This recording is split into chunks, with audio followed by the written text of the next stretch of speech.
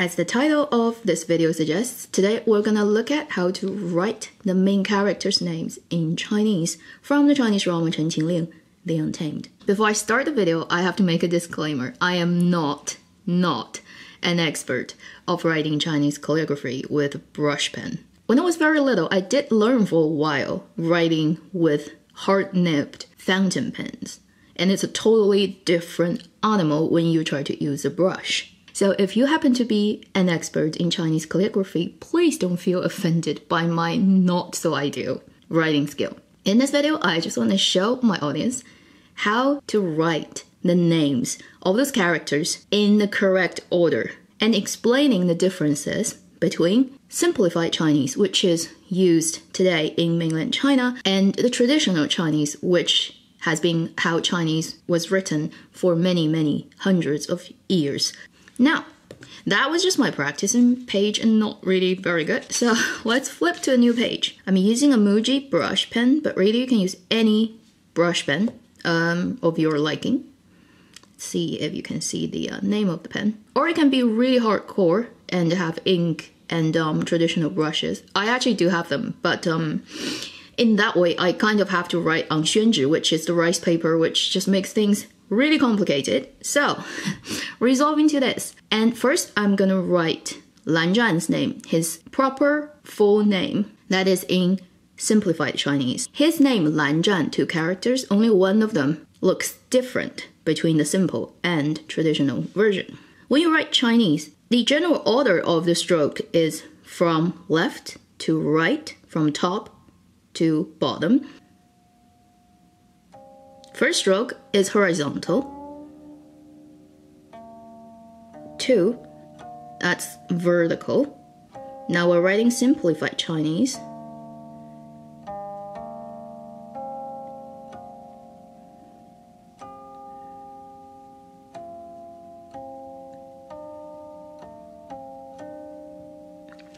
That is his surname, Lan. Uh, it looks okay. Huh, not ideal. I think when I'm filming it, I'm much more nervous than I'm writing it, you know, normally. So it kind of like, look at that stroke. Doesn't look very pretty, but hey. So that is his surname. Now let's look at his given name, Zhan. It starts with what we called pianpang, which is the side, the left part. And in this, it's a water. It represents water. Dot, dot dot what we call 三点水 three dots of water when you see a chinese character that has this left part it just means this character has something to do with water um, i forgot to mention this part of Lan is read as 草字头, the head of grass, which means the origin of this character has something to do with plants, with grass, with vegetation.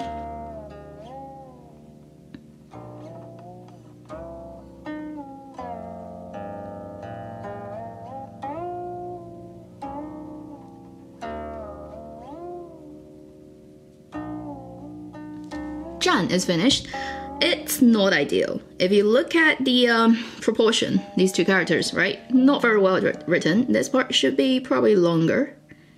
And then the three waters should be lower or this part, the right part should go up a bit. That will look better in terms of proportion.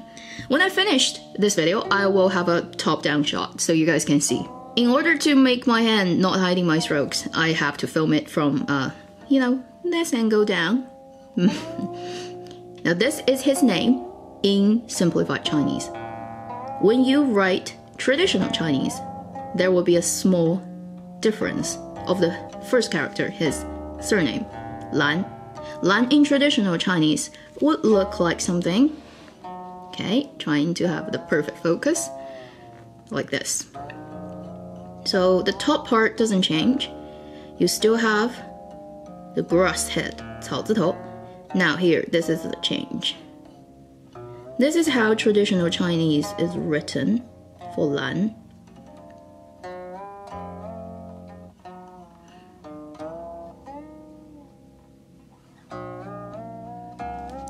So if you look at the difference between these two, the change really happens just here. So basically, okay, I kind of like destroyed it, but now you can see. This part is Chen. This is a different character. Where's the simplified one simply just make it like, you know, simplified it into two vertical strokes.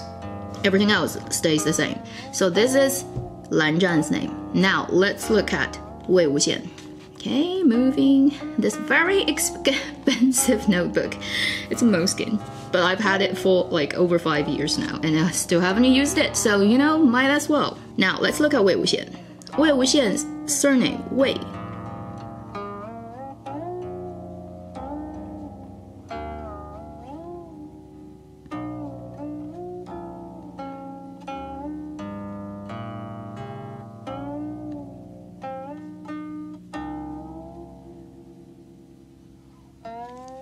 Okay, this one came out pretty nicely.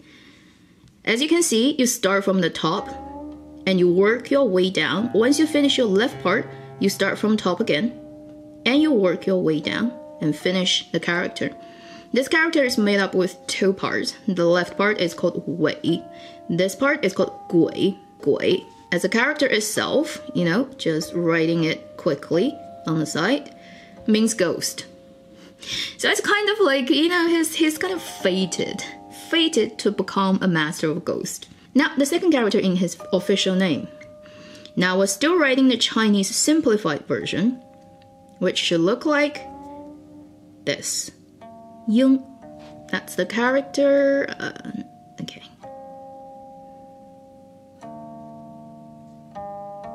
This is actually a character called Bei, means precious treasure, and double bei. And the lower part is 女, means woman.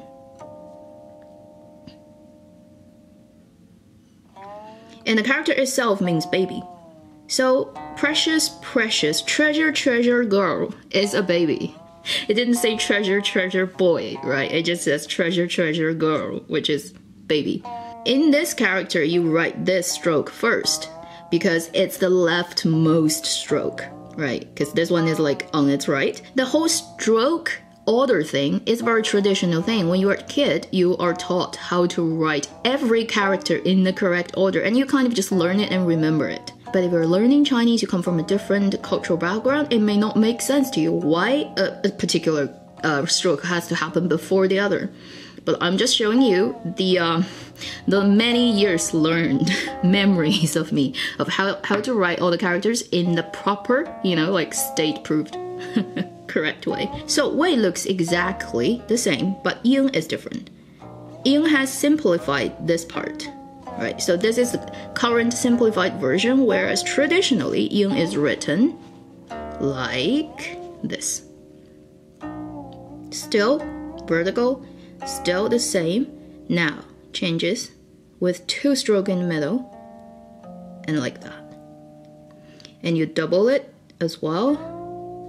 Okay, that one is not very nicely written. But hey, not aiming at perfection. So can you see the difference? That part. This is Bei, Bei's original uh, look, Treasure's original form. This is traditional and then it gets simplified into that version. So here, trying to show you guys better, this is Lan Zhan. Simplified, simplified, Lan's traditional version. Wei Ying, simplified, simplified, and Ying's traditional version. But in Chinese, people uh, don't just have Ming name, right? Might as well just write it. I'm just not being very careful of writing that. They also have 字, which is a name that they get when they become adult. Now let's flip the page, you know? Great way of wasting paper. now let's see how to write, let me just put it correctly, how to write their 字 version of their name. We're still gonna start with Lan, the surname of Lan Zhan. His 字 is Lan Wangji. Lan doesn't change. Now I'm just gonna go with the traditional version because I like it more. Traditional Chinese character turn to uh, be much more complicated, but um, they look better. Lan Wangji Wangji. So first let me write simplified Wangji. Wang doesn't change. Wang is the same whether it is ah, that's a really bad stroke. Anyway whether it is the simplified version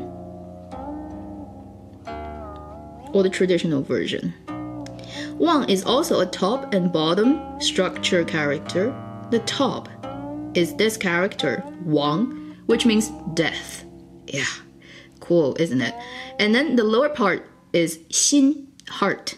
So when you forget something that's the character's meaning forget it's like death on top of your heart. I just love how Chinese people look at stuff sometimes. Okay, Ji. Ji can mean a lot of things. It can mean machine, it can mean opportunity, you know, so it's multiple meaning character. This is a very typical left and right structure character and quite simple. So that's a simplified character. Okay, I hope uh, hmm. I hope the focus hasn't totally moved away. The left part is wood. And this part is ji, which means numbers, a couple of how many. Now we have a very weird combination because this is traditional character.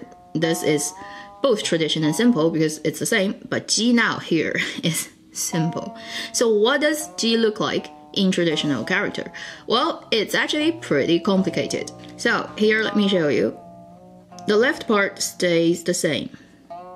I'm really not good at using this brush, I have to say. The right part is a different part.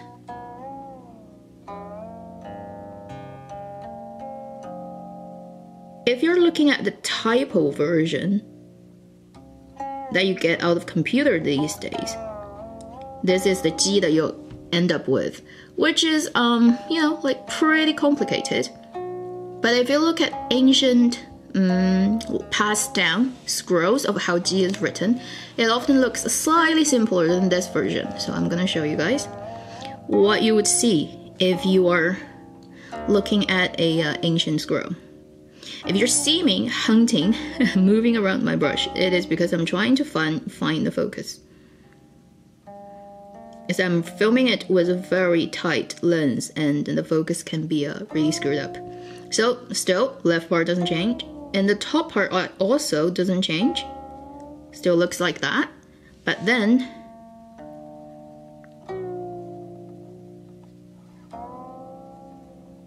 Okay, this is a really badly written character. Like it's shaky, it looks muddy, um, but you get the idea there's a slight difference in terms of the number of strokes and how they are arranged. So if you write like that or that, you know, in calligraphy, it's both fine. So that is his zi, his adulthood name that's used by his friends, the people who are within his same generation level. And now let's look at Wei Wuxian. Wei doesn't change. Let's just review how Wei is written. From top to bottom, left to right. If you look at some ancient scroll um, you can see this character sometimes missing this this part, like the top stroke, what we call a pie. So something that goes in that direction is often omitted in ancient text. Wu Xian. First, let's look at his name in simplified Chinese. Wu, not having something. Although I have to say, right, for this character, the funny thing is, if you look at some very old, like Tang Dynasty writing, you can actually see this version. So, this version and the proper traditional version of Wu exist at the same time, historically. But in simplified Chinese these days, this is the one we use. Now, Xian in both tradition, no, and simplified are the same. So this is the same character in both version of Chinese.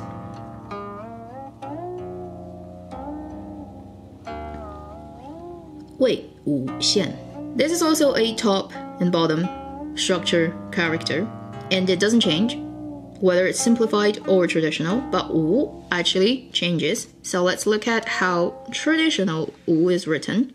the more complicated and kind of sexier version.